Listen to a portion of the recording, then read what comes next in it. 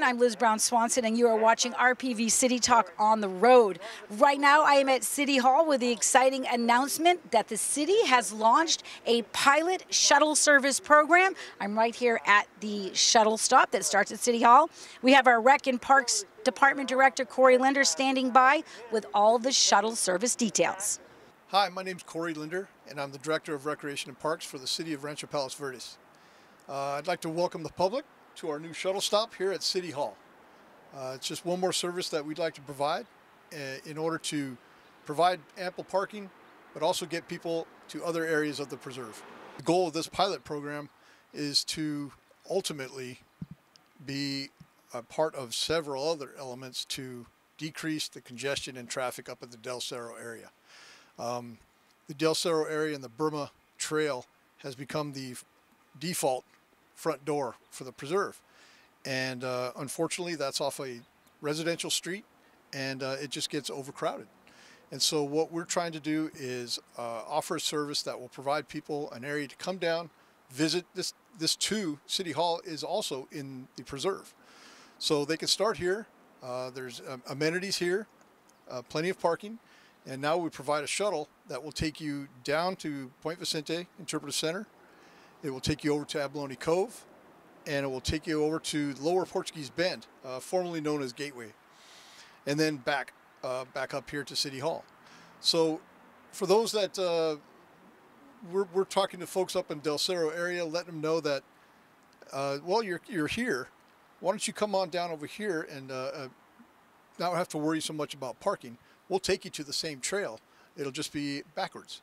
It'll be going up uh, your first leg and then coming back down uh, to the shuttle stop, as opposed to starting at the top, heading down, traipsing back up, and then going, going to your car.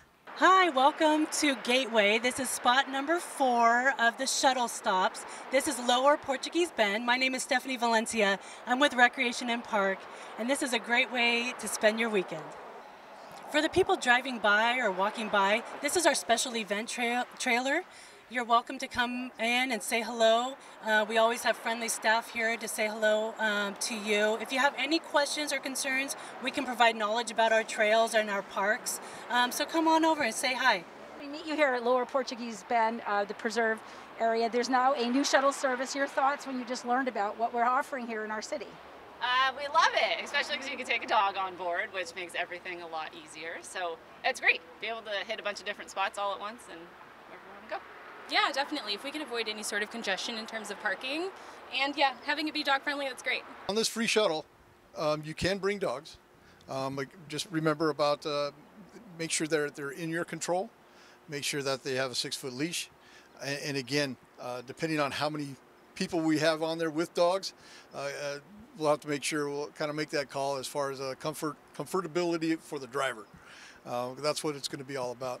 Um, but also bicycles. If you also plan to want to do some mountain biking down in another area, uh, the shuttles both have bike racks on them as well.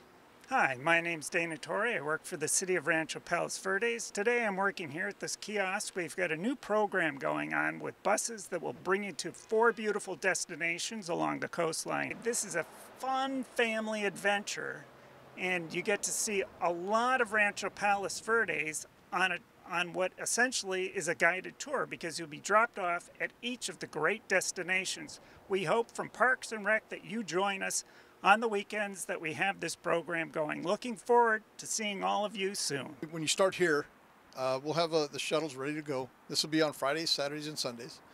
Um, when you do get to the City Hall or uh, uh the Civic Center area, uh, there are amenities here. There's a dog park, tennis, plenty of trails. Um, as you can see, just find one of our kiosks and you can find uh, how the shuttle works, what times it works, and also the trails for this particular section and how it fits into the bigger preserve. Um, from here, the shuttle goes down Hawthorne and makes a left on PV Drive South. And the next stop is going to be the Point Vicente Interpretive Center. And from there, uh, the amenities include a museum, which is now open. Um, the, uh, uh, the, the site itself has plenty of trails, picnic areas, and uh, just great viewing of the ocean. Um, there, there, you might confront or you might be able to uh, talk a little bit with the uh, whale watchers there, the whale counters. Uh, so there's plenty to do down at PVIC. Also, between here and PVIC is uh, a place that to be a real small walk to go get some uh, uh, lunch or what have you over at Golden Cove. From PVIC, uh, we head down PV Drive South to Abalone Cove.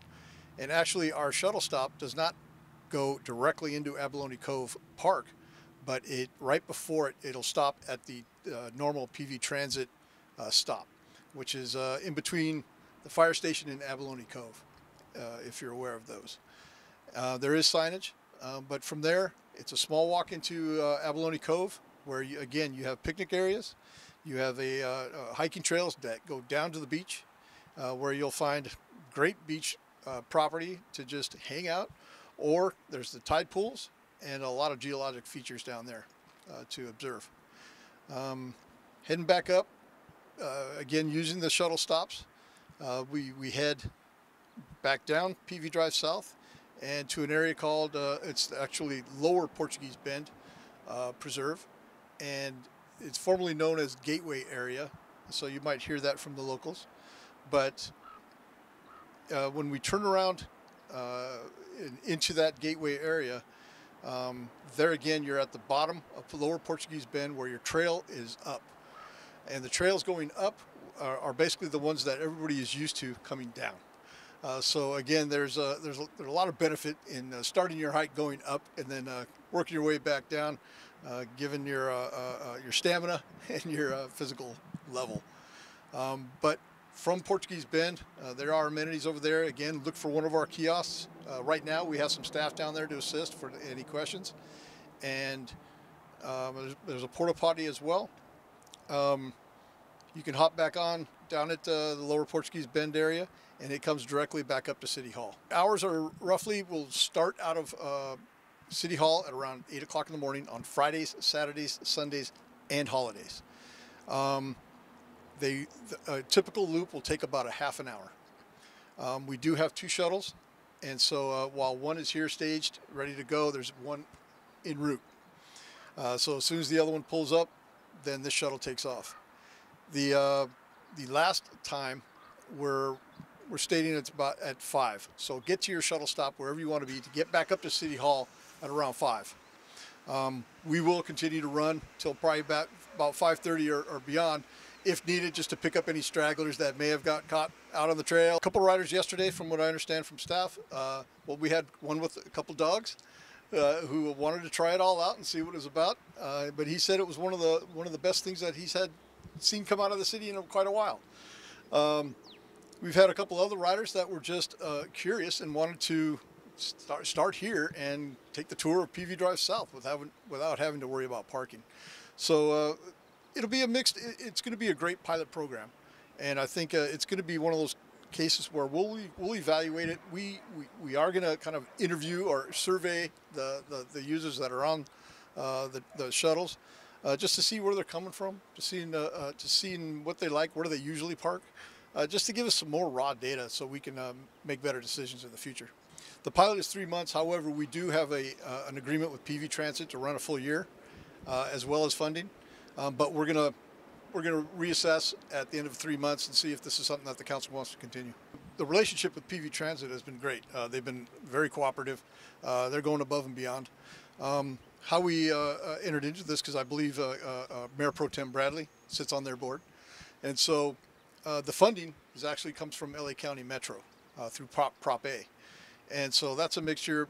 That's an allocation that the city gets based on population and tax. So uh, with that, the city council can then recommend how we reallocate that uh, if it's a program that falls within their parameters. And this one does. So the uh, amount is $80,000 for a year of service, uh, but 20000 will be for the uh, this first three-month pilot project. Well, each, each shuttle has uh, 24 seats. Um, but during because of COVID, they're running at 50% capacity. So we're looking at 12, 12 spots, and if we do have a uh, a staffer or somebody else on there, then obviously 11. Um, but we'll accommodate as best we can. And with the two shuttles and PV Transit has been great in having uh, two out here available to us that uh, we should be able to accommodate everybody within a relatively good time. We have a, a gem of 1,400 acres here of, of, of, of preserve. Um, again, I think uh, what I just want the, the, the, the, the real point to make to be made here is that again we're not trying to invite everybody up here. We just really want to uh, redistribute the load and the, the users that are already coming up here. Uh, for example, our rangers and parking enforcement up in Del Cerro area right now um, are are making contacts with the public. The public is already coming to Del Cerro, and so, but they're just making them aware that hey, here's another opportunity because some folks will park a mile and a half away from the trailhead up there, just to hike, and so uh, just making them aware that hey, we could take you to the same spot. There are a lot of trail opportunities up here, but as you know, in the past there wasn't a whole lot of information. So we've provided wayfinding uh, signs. Uh, we've provided kind of an area that as soon as you come down the driveway, you can see it. And uh, once you have a kiosk up here, it's just like, okay, that's got to have some information. Uh, even from here, you're looking at trails that lead down this way. You're also looking at trails across. Again, you can see smaller signs and another kiosk over there that will lead you to the trails. Um, in this particular kiosk, we have a an aerial with all the trail maps of this particular uh, preserve. The motto on the shuttle is Have a nice day. This really is a nice service provided to our community. You can find out more details about the shuttle service by logging onto the city website at rpvca.gov. I'm Liz Brown Swanson. Thanks for watching RPV City Talk on the road. Now I'm going to go climb aboard and take a hike. Thanks for watching.